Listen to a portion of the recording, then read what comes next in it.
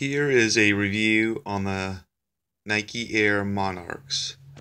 Now, as you can see, I do like Nike Airs and other shoes such as Adidas. And I purchased these Nike Air Monarchs and I watched a couple of videos on them and these shoes make a squeaking noise.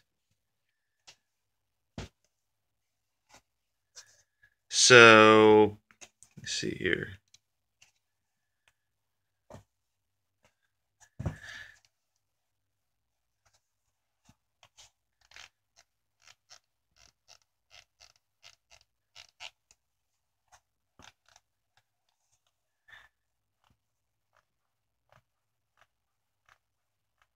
So Nike, what is going on?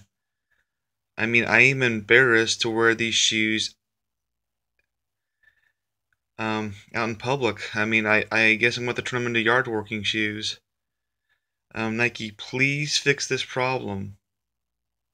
Or else I'm just not going to buy any more Nike Airs.